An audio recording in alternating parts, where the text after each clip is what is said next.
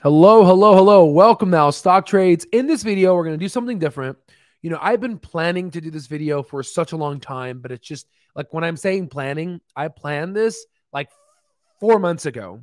But the thing is, like, this requires a lot of work. And I had some time today. It was right after uh, the exam I had for another licensing exam uh, for the passage on my way towards becoming a physician. So, in this video, we're going to go ahead and we're going to talk about top semiconductor stocks. Now, if you've been following our stock alerts and mastering stock market course, then you've been seeing these stocks within our price targets. And in, in the coming months, in fact, last month, we've hit our price targets and we've made a considerable amount of money.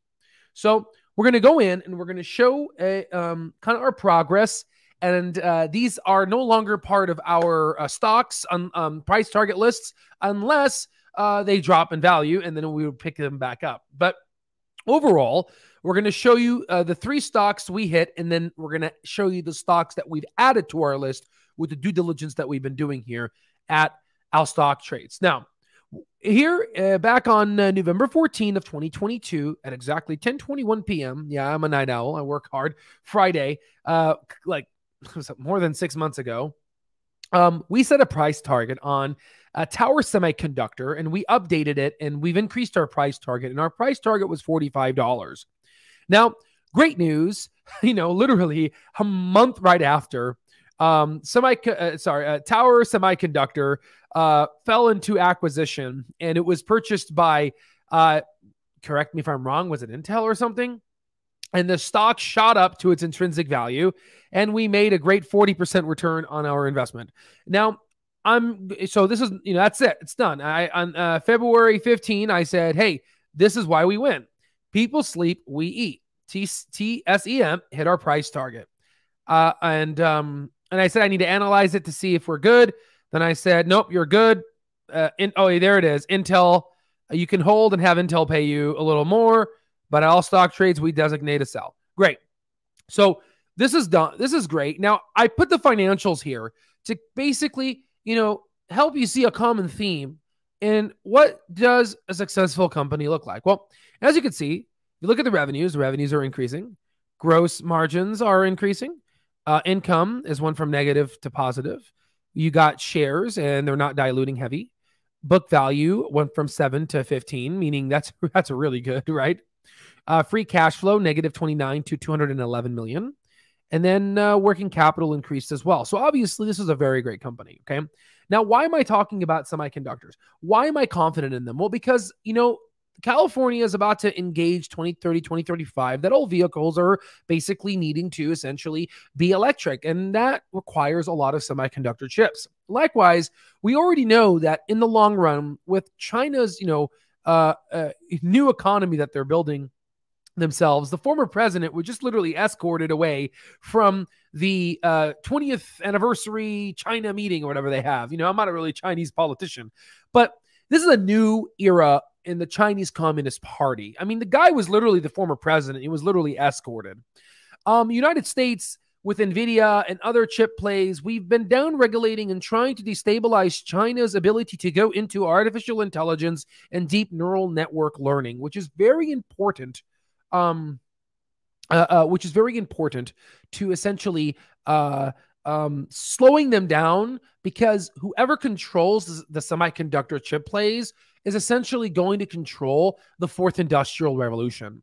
Okay. So there's that. Just a quick thing. Where do we um, find that on the site? So this here that you see, um, we are going to be adding it in a very usable Excel format to uh, it's going to be under beta test in the brain machine. So this will be the capability of brain machine. I'm bringing this to you guys. It has been a, it's been literally six months i've been working on it uh, but we are gonna release it to you soon. Um, there's still some bugs i'm trying to fix but uh, expect to have a limited access to that. I believe your lifetime. So get get ready uh, uh, to enjoy that. Uh, i've been literally working nonstop for it. Um, I, but I think by november 1st uh, fingers crossed so here's another. So there's TSEM on again J- January 14. Uh, we went ahead set a price target of 68. Yep, it reached it. Uh, literally last month, September 21st, I said, "Hey, congratulations! Uh, we basically hit our price target. Congratulations! This has been up 42% in the year. and this was up 33% in the year. So obviously, you can see that there's always a bull market somewhere, right? Uh, sounds like Jim Cramer, and I'm going to help you find it, right? So this guy's hilarious. I don't know how he comes up with these things. But as you can see, there's always a bull market somewhere. And its ability as the investor to look and understand the fundamentals. It is all about the fundamentals. Whoever tells you that's not about the fundamentals is lying to you, is not an investor, is a speculator. So again, revenues are increasing, gross margins are increasing, net income is increasing, shares minimally diluted, book value is increasing, free cash flow is increasing, working capital is doing great. As you can see, you can see a common theme in this. Are you starting to see a common theme? Okay. Last stock here, and then we're going to go to the new ones. Uh, we got PI Manufacturing Radio Frequency. Uh, this is going. This is again January 14. I kind of lumped them up. This one hit our price target of $95. I said, uh, uh, oh, oh no, I said it jumped near our price target, but again, it's close enough. 54% up on the year. Again, if you look at the revenues, it's increasing. Gross margins, uh, um, you know, above 50%, which is great. Net income, still negative, still negative. But if you look at free cash flow, the free cash flow is negative as well. But if you look at the shares, minimally diluted, and I believe uh, working capital is where the magic is at 10 million to 214. So this is another example of a company that's negative free cash flow, sorry, negative free cash flow and negative net income, but yet still arrives to our price target because the market assesses its value because of the gross margins, which is why if you go ahead and connect Clover Health, Andrew Toy talked about how we're going to focus. Oh, no, sorry. Vivek talked about how we're going to basically fix our margins. Because once you go ahead and see the margins start to uplift, then you can automatically assume that potentially, potentially, potentially, this company is and will be having a great business model. All right. Next one. Uh, S- SITM. Again, this is the next couple of stocks are the ones that we're going to be setting price targets on. I updated uh, um, our family uh, on um, how the price targets are going to look like. Let me go ahead and show you here. I put them up on the community ta- uh, page here. So overall, this is how the price targets are going to look like. They're going to be the name of the sector, the ticker, the description, the price targets, the bull base bear recession, star ratings. So three stars is going to be like, oh, okay, there's something wrong with the net income, free cash flow. Five stars is just this is perfect. And then legendary investors are basically the investors I point out, pointed out with the CIK numbers if they're top institutional investors. And we're going to put that there. So it's all going to be there for you. And these are some tips we're going to keep adding towards to help you essentially identify how to find companies like this and how to win in the stock market. Okay. Now, applied. Oh, yeah. Let me go back here. Again, revenue is going up, gross margins, net income uh, here is uh, went from negative to positive. That's why it's on my radar. Uh, shares, again, minimally diluted. diluted. Uh, book value. Look at this book value $1 to 32 freaking dollars. Oh my God. That's really good. Free cash flow here, again, negative to positive. Again, see that you see the maneuver here? Applied materials.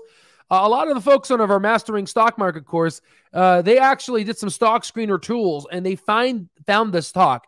Good job, exactly. So you got the revenue. Revenue is increasing. Gross margins are increasing. Net income is increasing.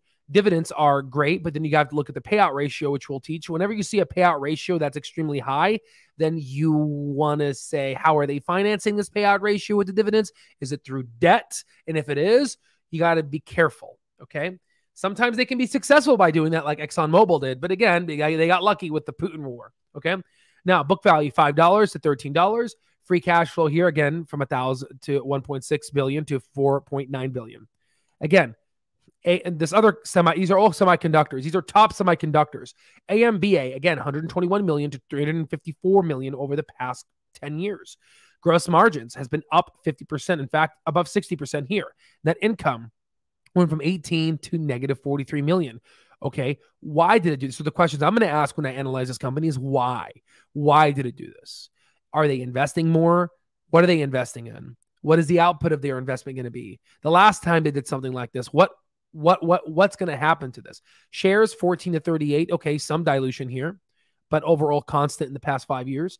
Uh book value 8 to 15. Okay, they are providing value towards the share. Free cash flow 9 to 48. Something's cooking in this, especially if you look at their working capital. That's why it's on this list. Okay, Marvell. Okay, so I was at the Henry in Scottsdale. I was studying there because uh, my future wife, she essentially loves to uh, uh, um, be in that area. There was a chartered financial analyst, the creme de la creme of Wall Street. And I was talking to him and I was like, hey, by the way, have you ever heard of Marvell Technology? He said, hey, for you to know that company, you are in the top 1% of, inve- of Wall Street analysts because that is a really good company. And I concur. It really is. We've been having it on our price target. It hasn't ascended to its price target, which is amazing. If you go ahead and it has a star here, which means that a legendary investor by the name of Thomas Gardner, he per he has this in his portfolio. Okay. Okay, so we got about 3 billion to uh, uh, 5.5 billion. Gross margins are 50 50% here. Net income is 300 3 okay, net income has been stagnant, okay? Shares are uh, minimally diluted, but there are some dilutions. Book value went to 8 to 18. Free cash flow here is from 626 to 897. So as you can see here guys, um, this company there's some it's a little hit hit or miss because if you look at the working capital, there's something going on. So I want to look at the free cash flow. I want to dig dive deep into it. But the intrinsic value, I've done it before. It looked really good. We're going to continue following this company and we're going to do another intrinsic value and put in our price target list. But this is definitely one of those winning stocks. All right, Nova, again, 96 to 500, 510 million dollars. Gross margins are great. Net income, look at that net income. It's beautiful. Shares minimally diluted. Book value for the 18.21. Working capital going in the right direction. Then we have NVTS. Again, look at this one. This one, these ones are a little fun. All right, two to 28 million. It's growing under the radar. Net income, still negative. Free cash flow, still negative. A little smaller than Clover Health, but you can see the story continues. Okay. Now, this is another one. This is another one. This one, this one I think is going to give you those 400 to 800% returns, most like 500. We'll see. Again, revenue 1 million to 10 million. But look at the gross margins 60 to 71%. Working capital, now it's positive. Free cash flow, we're slowly trucking up. Net income and, and, and, and free cash flow needs to be positive, but they're investing. And how do I know they're a good business? Because look at their gross margins. See that? Literally, for every dollar they make, they get to keep 71 cents. So we're waiting on uh, this to become free cash flow positive, net income positive. That's why the market has been heavily neglecting this. And this is not really on the radar a lot. Okay. Most people don't talk about the stocks. Again, um, you know, I usually I do this in the Al Stock Alerts component. I just wanted to share with the YouTube community that there's other opportunities out there. Okay. It's not just, you know, all the meme stocks, right? There's other great companies out there that, that, that, that help you build wealth. Okay. We're going to look at this one. We're going to do intrinsic value and we're going to go ahead and pop it into our bi monthlies and uh, talk about them too. All right. VICR, another one. Look at that 219, 3, 366. Again, gross margins, revenue stable. But look at that net income here, negative 14 to 38 million. Look at shares, minimally diluted. Book value, four to ten dollars. Look at that. Free cash flow, 10. Again, still negative. Why are they negative? But still, they're getting the same amount of revenue, but now they're becoming po- they're now becoming profitable. Why? Because the gross margins are kicking in. Why? Because the working capital is increasing. See that? See the pattern there? AVGO, another popular one. Very, very great company. 2.3 billion to 31 billion. Look at that. Okay. Obviously, the market has, has rewarded this one. But imagine doing the same maneuvers and catching this company here when the net income was slowly increasing here. Book value is growing up to 18. Again, other companies that we've seen here are book value or is 10 near where AVGO is. But if you look at the book value now, it's 51. Now let's give you kind of an under give you kind of understanding. If you look up the AV, AVGO stock, it's a $449 stock, $190 billion stock. Again, I'm showing you companies that are successful. And this is obviously, it's going to be, it's going to end up becoming a 600 to $700 company. In fact, what we can do here is we'll take a quick diversion and we will go here and we'll go to our brain machine and we'll open up the help menu and let's see what analysts are thinking. Let's go to price target and let's look at the price target consensus of AVGO. So let's see what people think. So yeah, look at that. So the consensus here, so the median is two, 682, the consensus is 681, the target low is 580, and it's it's, it's under the target low, and the target high is 775. So obviously you can see there's juice in this company, and it's not like it hasn't touched those before. It has. Okay. So make sure you utilize this because You normally people pay a lot of money for this to get um uh, to get price target of uh, companies of sorry analysts uh, TipRanks. Unfortunately, they you know they charge a lot, but we get that data. Uh, let's uh, show you kind of an understanding here. If you go FG FAVGO, you could see the analyst uh, uh, the analyst company Rosenblatt, and you can see the price target here. These are the price target of different companies. Loop Capital, uh, and you can find exactly what you know who published it. You can click on this, and it'll take you to the publishing link where it kind of gives you uh, the article where they initiated its price target. Again, we're trying to give retail an upper hand here by putting and uh, putting everything in, streamlining it. Uh, if you go back to price targets here, you can look at um, the summary here. There's different ways of looking at it. Can, and you know, we you can say last quarter we got five targets. The average uh, uh, price target is 594. We got last average last year six 660, 657. So you can look at it and do your due diligence there, and then follow it up with a intrinsic value calculation from the mastering. But if you want, we can do a quick one here. See what is our yeah. So our our average leverage uh, uh, calculator here, which does it automatically, it shows it worth at $572, which um, is the target low. If you remember, it's around 570. So even then, that is showing you it's undervalued. So I hope that was a great exercise. All right, moving backwards. All right, so another one, ACLS. Again, 200 million all the way up to 800 million. Look at that. Look at look look beautiful. Look that's beautiful. Gross margins 28 to 44. Net income negative 34 to 149. Back to positivity. Book value 6 to 17. Free cash flow negative 11 to 124. Working capital 145 to 527. Guys, this is a great one. I mean, you could just look at it right there. Okay. So let's take a look at this company here. So 1.8 billion. You look at it over the year, it's up 12%, beating the market this year, but year to date, it's still low. You look at it, and obviously it's been, you know, it's it's been rewarded. But the question is, is is it a success? Can it be can it be a success?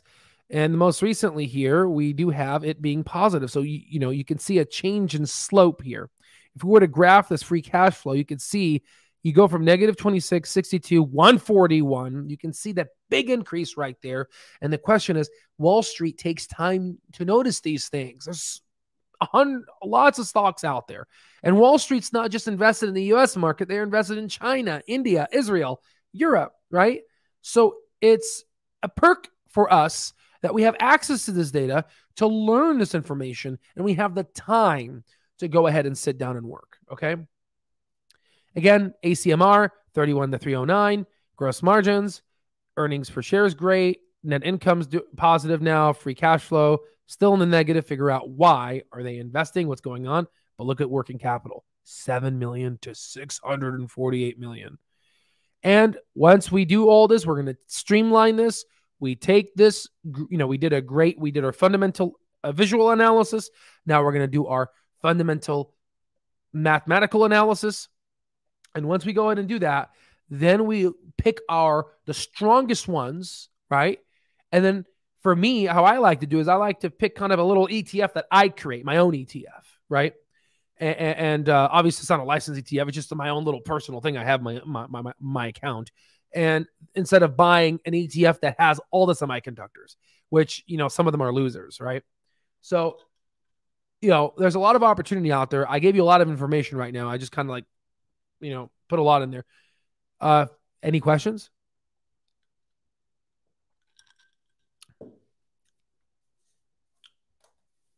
Let me know if you have any questions. What's that? Nephron Nephron Club Walgreens. What's that? Nephron is like the kidney, right? The glomerulus. That was a lot, guys. Holy freaking moly. Whew. My mouth is dry. Anywho, uh, I wanted to add uh, to some folks uh, if you like cold brew, um, there's this recipe that I've been doing. Uh, you take uh, a French press, and this is like like so random, but like it's what I'm drinking here. You take cold brew. Okay. So you take the coffee beans, you grind them up coarse. You take it and you put it in a large French press. Okay. Then you put the beans in there. Okay. And then from there, you put room temperature water, room temperature, and you let it sit for 24 hours. Okay. And then you press it the next day. You pour it into a cheese filtered cloth, into like a mason jar or something, and you close that up and you put it in the fridge, and you have amazing, amazing cold brew, literally from the gods. Okay, so delicious. It, and it's not bitter; it's smooth because you're using room temperature water. Whenever you do heat, you extract the acidity from the beans. I know that was random, but I I, I just like I I just started the recipe and it's just uh, my life has gotten so much better, especially at the hospital, where I just love that. You know, after you know, I feel like a machine. You know, because it's such a good uh, good boost of energy. Hmm. Overall, that's all I have for you guys here for uh, our um, uh, semi top semiconductor plays. Uh, we're gonna go ahead do our intrinsic value calculations on them, and uh, I did a lot of due diligence on these companies. These companies have been strategically picked, and you can see each company is at a different stage of life. Okay, and I believe that we are in a beginning S shape curve of the tech sector. Uh, I'm going to say this right now. Uh, Mark Zuckerberg, I watched an interview of him from The Verge, which I would honestly love to just kind of comment on and, and talk about. There was only 120, Verge has 3 million subscribers.